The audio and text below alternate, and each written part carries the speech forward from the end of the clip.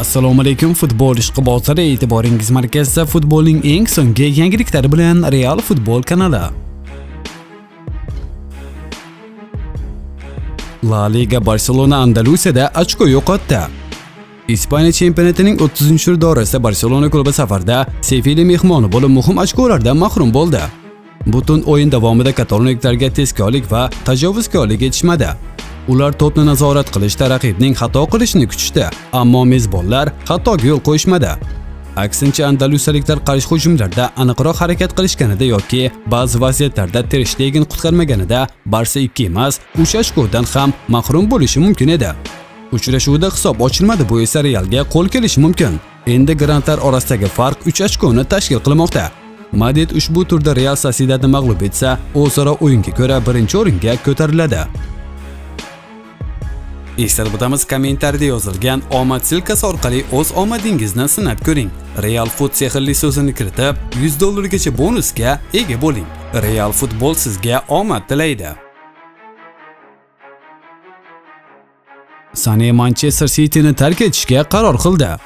Manchester City bosh murabbiy Pep Guardiola yarim himoyachi Leroy Sané klub bilan yangi shartnoma imzolashni istamayotganini aytdi. Leroy shartnomani uzaytirishni istamasligini aytdi. U ketmoqchi. U bilan yozda yoki shartnomasi muddati tugaydigan kelasi yil xayrlashishimiz mumkin. Biz unga 2-3 marta yangi shartnoma taklif qildik, ammo u boshqa klubda to'p tepishni istayapti. Agar mavsum yakunida u ketmoqchi bo'layotgan klub bilan kelishuvga erisha olmasak, Sane 1 yil safimizda qoladi deb Guardiola so'zdan keltirmoqda Gual. Avvalroq Bavariya klubi Sane uchun 40 million yevro taklif qilayotgani haqida xabarlar tarqalgan edi.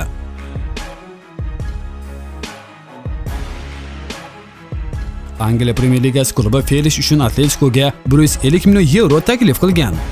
Atletico koronavirus pandemiyasigacha Joao Felix transferi bo'yicha yirik taklif olgan deya yozmoqda guam.com.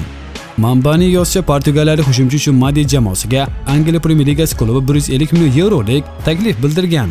Biroq Atletico klubi ushbu taklifni rad etgan.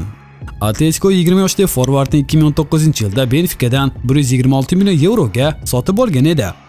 Ma'lumot uchun Feli joriy mavsum La Liga o'yinlarida 21 ta o'yinda 6 golga mualliflik qilgan. Asensio bu muvaffaqiyatning ortida juda ko'p mehnat bor. Real yarim himoyasi Marko Asensio La Liganing 29-turdan o'rin olgan Valensiyaga qarshi o'yindan so'ng o'z fikrlari bilan o'rtoqlashdi. Ko'p oylik og'ir mehnatdan so'ng maydonga qaytishni juda xohlagandim. Yana o'ynaganim, gol urganim va g'alaba qozonganimizdan xursandman. Hozir menda kuchli hissiyotlar va mamnuniyat hissi bor. Buning ortida juda ko'p mehnat yotibdi. Eng muhimi o'zimni yaxshi his qilyapman, g'alaba qozondik va finishga tayyormiz deb Asensioning so'zlarini keltirmoqda Marka. Asensio Valensiya bilan bahsda zaxiradan maydonga tushib, to'pga birinchi teginishdayoq gol urdi va biroz o'tib Benzemaning goliga assistentlik qildi. Bungacha yarim himoyachi 11 oy davomida jarohat tufayli o'ynamagandi. Sud Neymar va Barselona ishida klub foydasiga qaror chiqardi. Sud Barselona klubi va jamoaning sobiq hujumchisi Neymar o'rtasidagi mojaro yuzasidan qaror chiqardi. Braziliyalik futbolchi ko'k anonliklar bilan shartnomani uzaytirgani uchun klubdan 43.6 million yevro miqdorida ko'zda tutilgan mukofot pulini talab qildi. U PSJga o'tib ketgani uchun katalonliklar bu pulni to'lashdan bosh tortib, aksincha Neymardan 6.7 million yevro pul talab qilishdi. Sud Barsaning da'vosini qondirish haqida qaror qabul qildi. Futbolchining vakili ushbu qaror yuzasidan shikoyat kiritish huquqiga ega. Klub esa o'z manfaatlarini himoya qilishda davom etadi deyiladi klub tarqatgan bayonotda. Real Madrid PSG bilan kelishuvga erishdi. Marka nashrining xabari ko'ra Real Madrid Paris Saint-Germain bilan darvozabon Alfons Ariolaning Yevropa Chempionlar Ligasi so'ngiga qadar olib qolish bo'yicha kelishuvga erishdi. Eslatib o'tamiz, fransiyalik darvozabon o'tgan yozda Navas PSJga o'tgach, madridliklar safiga ijara asosida kelib qo'shilgan. Uning shartnomasi 30-iyun kuni nihoyasiga yetadi. Ma'lumotlarga ko'ra, Ariola o'rnini ukrainalik darvozabon Andrey Lunin egallaydi. Lunin 2018-yilda Zaryadan Realga o'tgan. U shu vaqt mobaynida Leganes, Valladolid va Aviodo jamoalarida ijarada harakat qilib kelmoqda.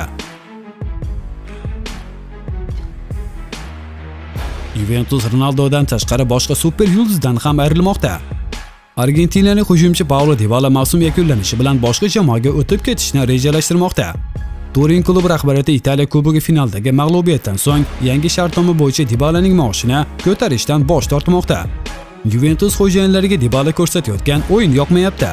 Dibala Juventus bilan o'rtadagi shartnomani uzaytirish uchun yiliga 15 million yevro talab qilayotgan edi.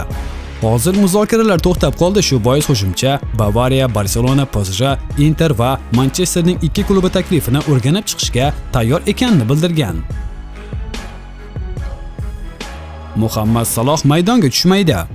Angliya Premyer Ligasining 30-turdan o'rin olgan derbida yurgan klub hujumchi Muhammad Saloh va himoyachi Endryu Robertsonni maydonga tushirmaydi. Ma'lumotlarga qaraganda har ikki futbolchining jismoniy holati talabga javob bermaydi. Shuning uchun Liverpool murabbiylari Saloh va Robertsonni Evertonga qarshi o'yinga qo'ymaslikka qaror qilgan. Liverpool va Everton uchrashuvi 21-iyun kuni Goodison Parkda bo'lib o'tadi. Kutilmagan qaror Coutinho qayerda o'ynashi hal bo'ldi. O'ziga jamoa qidirayotgan Barselona pleymeykeri Coutinho ma'lum muddat Bavariyada qoladigan bo'ldi. Bundesligada chempionlik masalasini hal qilib qo'ygan myunxenliklar braziliyalik futbolchi xizmatlaridan Chempionlar Ligasi play-off o'yinlarida foydalanmoqchi. Shuning uchun Bavariya mavsum oxirigacha Coutinhoni o'z safida olib qolmoqchi. Aslida ijro muddati 30-iyun kuni yakunlanishi kerak edi. Bavariya rahbarlari Barselona bilan ushbu muddatni uzaytirish bo'yicha kelishuvga erishdi. Chelsea super futbolchi uchun Kantedan voz kechdi. Chelsi rahbariyati yozda Bayer yarim himoyasi Kai Havertzni olish uchun Kanteni Realga transfer qilishga rozi bo'ldi. Avvalroq madridliklar fransiyalik futbolchi uchun londonliklarga 71 million funt taklif qilgan edi. Roman Abramovich klub rahbarlari Kante transferdan keladigan mablag'ni havers transferiga yo'naltirmoqchi. chelsidan tashqari Real, barselona Manchester United, Bavariya, Newcastle kabi jamoalar nishonida turgan 21 yoshli nemis futbolchisining o'zi Realda to'p surishni orzu qilmoqda. Bugun sizlarga yetkazmoqchi bo'lgan futbol yangiliklarimiz shulardan iborat edi. Video yoqqan bo'lsa, like bosishni unutmang, kanalimizga albatta obuna bo'ling. Xayr, salomat bo'ling.